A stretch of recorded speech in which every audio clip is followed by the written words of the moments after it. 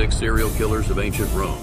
Lucius Pedanius Secundus, a Roman senator who was known for his sadistic and brutal murders of slaves and young boys, targeting them in his luxurious villa. Gaius Terentius Varro, a cunning and manipulative man who posed as a physician to poison his victims, often disguising his deadly intentions. Sextus Roscius, a notorious gladiator who became a serial killer, slaying his fellow competitors and bystanders, reveling in the violence. Gaius Aulus Aquilius, a Roman magistrate who enjoyed torturing and killing his political rivals and enemies in secret.